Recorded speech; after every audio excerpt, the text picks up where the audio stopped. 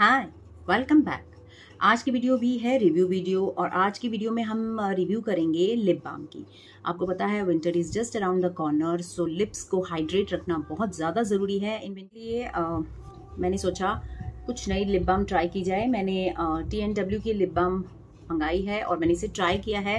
पिछले एक हफ़्ते से मैं इसे यूज़ कर रही हूँ and I really like this lip बात करते हैं पैकेजिंग की। इस तरह की छोटी सी कार्डबोर्ड पैकेजिंग में आता है।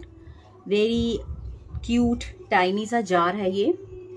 एंड इजी टू कैरी है बहुत आसानी से आप पर्स में बैग में कहीं पे भी डाल सकते now this is the exact colour आपको इसमें लग रहा होगा कि ये कलर ही आएगा आपके लिप्स पर बट uh, इसमें कोई कलर नहीं है मैं आपको दिखाती हूँ. एंड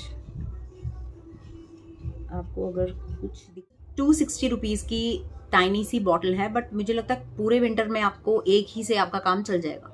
बिकॉज़ इसकी जो कंसिस्टेंसी है ना बहुत थिक है। आप इसको अच्छे से रब करके और आप लगाएँगे अगर आप दिन में।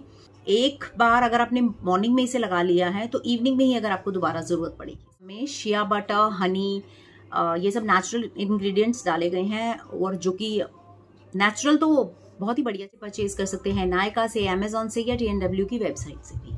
Has very mild uh, fragrance which doesn't bother me. After using this lip balm, my lips uh, feels so soft and so plumpy. I really like this lip balm. Totally recommended. But price wise मुझे थोड़ा सा high लगा है अगर अगर आपको discount में मिल रही हो तो ज़रूर डेफिनेटली इसे I give this lip balm 8 out of 10